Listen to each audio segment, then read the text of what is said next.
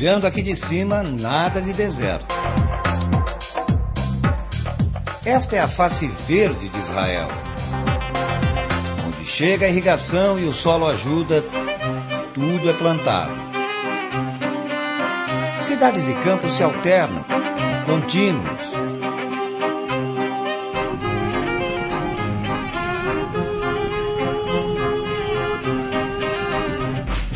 Jonathan tem a agricultura no sangue da família. Seu avô chegou à antiga Palestina 120 anos atrás. Agricultor judeu, imigrante da Bielorrússia.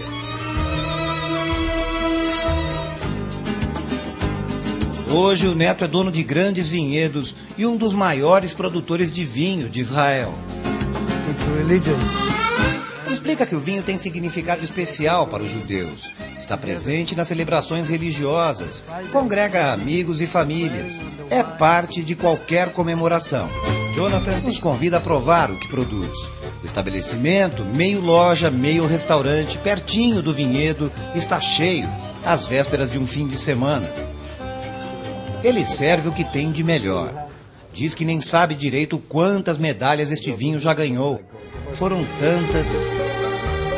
Os antepassados dele nos rótulos deveriam estar sorrindo.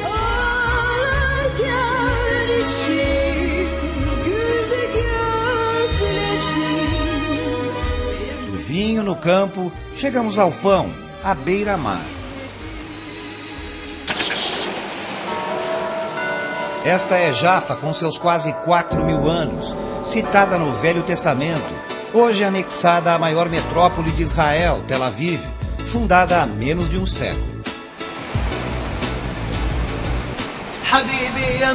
Quando a lendária padaria Abuláfia já estava nativa. Os donos são árabes. Dina, a gerente, é judia.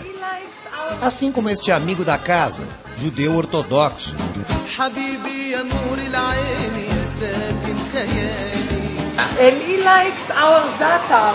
Para explicar esta alquimia, Dina recorre ao que está à vista.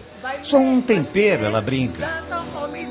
Como o zata, mistura de ervas típica do Oriente Médio, sobre o pita, o pão árabe.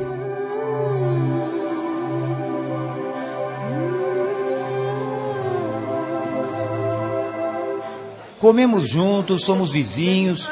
Eu vejo que há caminhos para a paz, mas há muita coisa envolvida, como dinheiro e poder, ela comenta.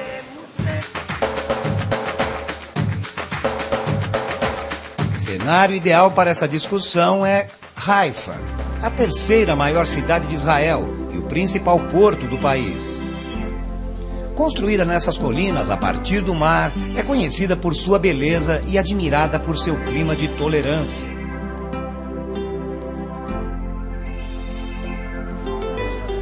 De suas principais vozes é este poeta, Sami Mihael. Judeu iraquiano, autor de poemas e romances de sucesso, presidente da Associação para os Direitos Civis de Israel. Ele chegou em 1949 e morou três anos neste bairro árabe de Haifa. Daqui saíram alguns personagens que povoam seus livros. Escrevendo em hebraico, Samir foi o primeiro escritor do país a mostrar os árabes comuns, sem conexão com terrorismo ou política. Eu mesmo tenho duas mães. Uma árabe que me deu à luz no Iraque e Israel, a mãe judia que me acolheu.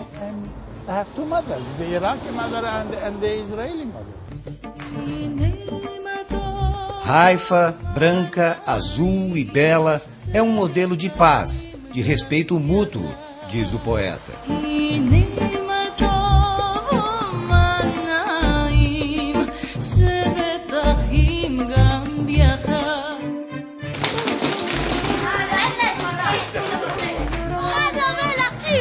Coexistência pode ser barulhenta, bagunçada. Respeito não precisa ser solene. A escola acha que se é para se entender, melhor começar cedo. Numa semana, as crianças árabes vêm até aqui para brincar, conviver, conhecer. Na outra, são as crianças judias que visitam a escola árabe. Quando começa o jogo, é cada um por si. e todos pela brincadeira.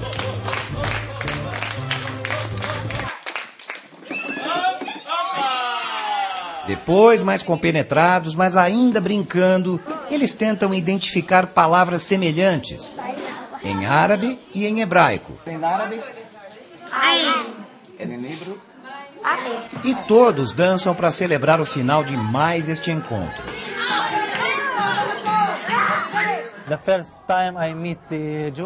Gostaria de ter tido esta oportunidade quando criança, nos diz o professor da escola árabe.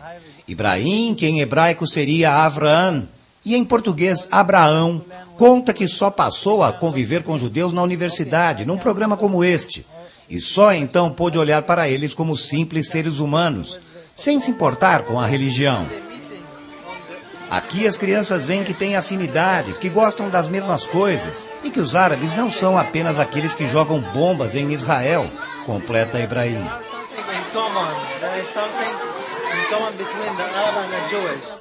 A diretora da escola explica que o projeto começa com as crianças e depois vai envolver pais e professores. Os dois lados têm medo, e se você se der conta que o outro é um ser humano, isso pode acabar.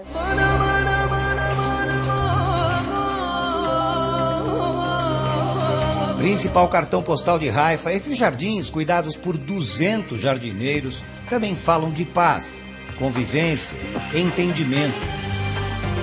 Ocupam 19 patamares nas encostas do Monte Carmel profetas do Antigo Testamento teriam caminhado por aqui. É o centro espiritual da religião Bahá'í. Como os judeus, os muçulmanos e os cristãos, os Bahá'ís são monoteístas, acreditam em um só Deus. Seu profeta e fundador é Bahullah, que viveu na Pérsia, hoje Irã, no século XIX Estes dois brasileiros voluntários vão ficar dois anos por aqui. Fazem parte dos 6 milhões e meio de seguidores dos ensinamentos do profeta Barulá. A fé Bahá'í acredita que a religião de Deus é uma só, e ela é revelada de tempos em tempos. Em Israel, apesar de que existe essa imagem é, conflituosa, é, pelo menos em Haifa, as diferentes religiões, elas sim é, existem em harmonia. As pessoas têm uma vida normal como em qualquer outro lugar do mundo. Então é basicamente como se o conflito não existisse. Afinal, qual é a cara deste país? Em 7 milhões de habitantes, quase 5 milhões e meio são judeus, nascidos aqui ou vindos de 80 países diferentes. A última grande leva de imigrantes foi de russos, nos anos 80 e 90. Um milhão de pessoas. Há quase um milhão e meio de cidadãos árabes israelenses e pouco mais de 100 mil drusos, povo sem país próprio. Esses dos bigodões, dessas calças engraçadas, do jeito extrovertido, caloroso. Esta é uma cidade drusa no norte de Israel. O comerciante nos atrai para mostrar uma bandeira do Grêmio e explica quem é seu povo. O druso é um povo de paz, está em Israel para o que der e vier, na guerra, na paz, no exército, ele diz. Se está na Síria, é sírio, se está no Líbano, é libanês. A religião é secreta, ele prossegue. Mas pouco importa, todo druso deve ser justo e honesto. Ele nos mostra esta casa, meio museu, típica. Como o instrumento que ele toca.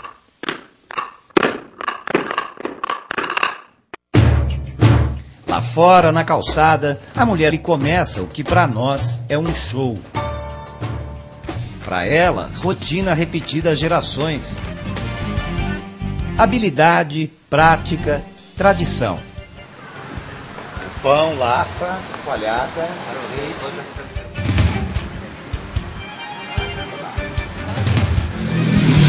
Sensacional. O triunfo da simplicidade, tirada da terra, desta terra considerada santa.